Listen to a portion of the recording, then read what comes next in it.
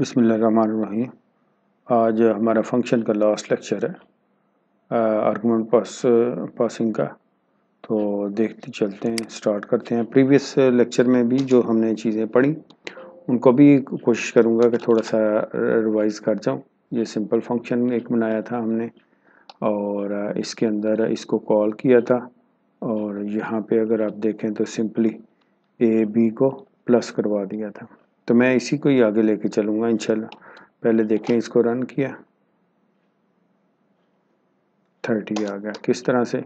कि हमने ए की वैल्यू ट्वेंटी ए की वैल्यू टेन और बी की ट्वेंटी रखी और ए प्लस बी कर दिया फार्मर स्पेसिफायर दिया।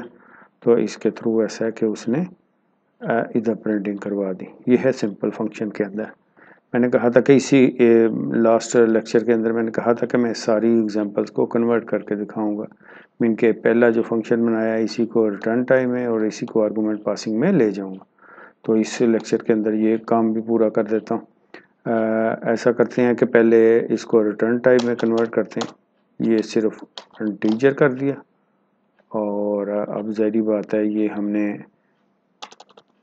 यहाँ पे भी वही लिखना होता है, जो कि फ़ंक्शन के वक़्त। तो बेसिकली तो ये रिटर्न टाइप हम बता रहे हैं कि किस तरह की वैल्यू रिटर्न होगी।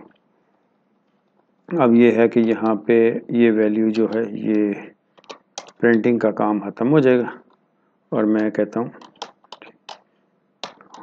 रिटर्न ए प्लस बी ऐसा कर दें, किसी वेरिएबल में रखवा के कर दें, आपकी अपनी मर्ज़ी। अब ए की वैल्यू क्या है? टेन बी की ट्वेंटी और ये वैल्यू जमा होने के बाद रिटर्न हो रही है कहाँ पे? फ़ंक्शन में। लेकिन प्रिंटिंग स्टेटमेंट कोई नहीं है। तो यहाँ पे हम ऐसा करते हैं, एक, जिस टाइप की रिटर्न टाइप होगी, उसी टाइप का एक वेरिएबल डिक्लेयर कर लिया सी के नाम से। और सी किसके इक्वल है? सी इक्वल है फ़ंक्शन कॉल ठीक है? और अब इसको प्रिंटिंग स्टेटमेंट में किस तरह से लेके जाएँगे? Print F. डबल कोट्स के अंदर परसेंटेज डी, कॉमा और सी। क्योंकि सी में कॉल हुआ, जो कुछ भी वैल्यू होगी, वो सी में आ जाएगी। उसके बाद इसको क्लोज कर दी। रन करके देखते हैं। कोई एरर नहीं। Control F nine. तो आप देखें थर्टी आ गया। मैं यहाँ से कोई भी वैल्यू चेंज करूँ for example two zero one कर दें तो अब जारी बात है ये टू एलेवन आना चाहिए। ठीक हो गया जी?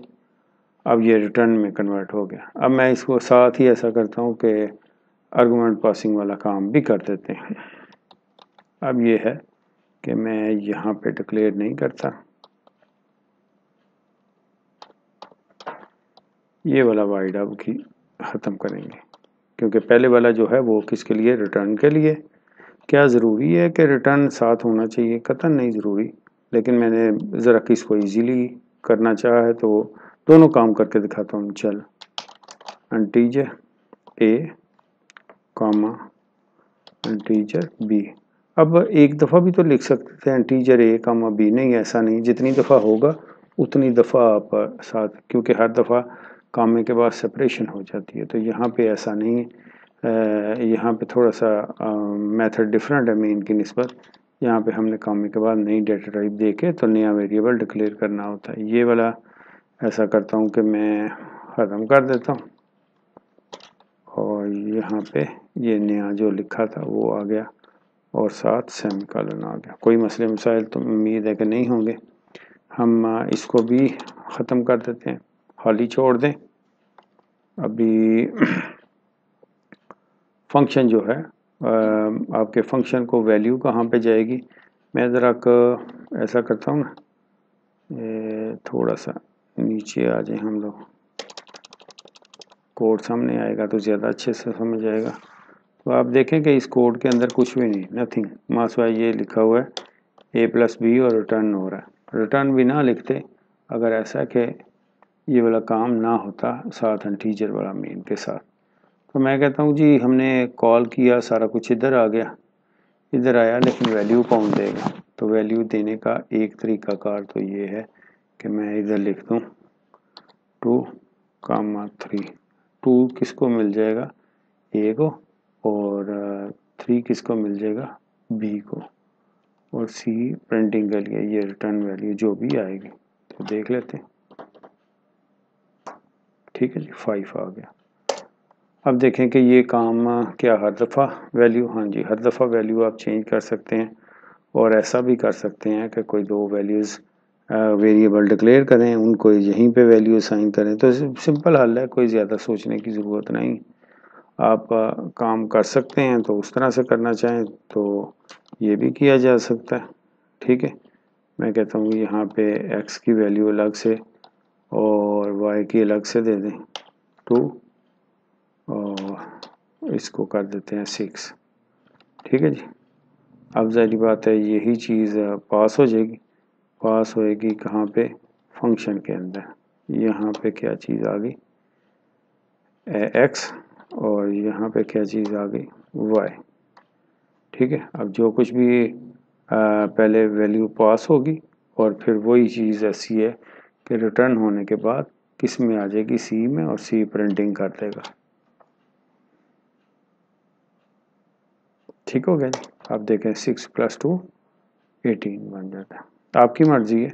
इनपुट करना चाहे तो फिर भी कोई मसला नहीं। यहाँ पे इनपुट मैं ज़्यादा गंभीर किस्म के फ़ंक्शन नहीं बनाना चाह रहा, क्योंकि इंटरमीडिएट वालों के ज़रा लेवल थोड़ा सा ही होता है। इतनी कोई ज़्यादा डेप्थ में नहीं जानते। और ना ही ने अभी इतनी बहुत ज़्यादा थिक किस्म की प्रोग्रामिंग का पूछा जाता है। उम्मीद है कि इन ताला काफ़ी अच्छे से समझ आ गया होगा। अब हम ऐसा कर रहे हैं कि एरे का लेक्चर रह गया तो नेक्स्ट लेक्चर में इन ताला एरे भी आ जाएगा। और साथ में एक और सीरीज़ स्टार्ट करने लगा हूँ जो सी सी प्लस प्लस की है। बेसिक से ऑनवर्ड सारा कुछ वो चले। और उसमें बड़ी चीज़ जो है ऑब्जेक्ट ओरिएंटेड के भी सारे कंसेप्ट आ जाएँ। प्लस कोशिश करूँगा कि डेटा स्ट्रक्चर का एरिया भी सारा कवर कर दूँ। या डेटा स्ट्रक्चर के सब्जेक्ट को एज ए सब्जेक्ट अलग कर दूँ, अलग से उसके लेक्चर अपलोड करूँ, या ऐसा कर दूँगा कि इसके साथ ही कर दूँगा। लेकिन ये जो सेकेंड ईयर की सी के कंटेंट्स हैं वो ऑलमोस्ट कंप्लीट हो गए। इनके फ़ंक्शन जहाँ तक कि आके रुक जाते। इसके फर्दर आपको मज़ीद प्रोग्रामिंग का एरिया कवर करने की ज़रूरत कतन नहीं होती। ओके जी, अल्लाह हाफिज़।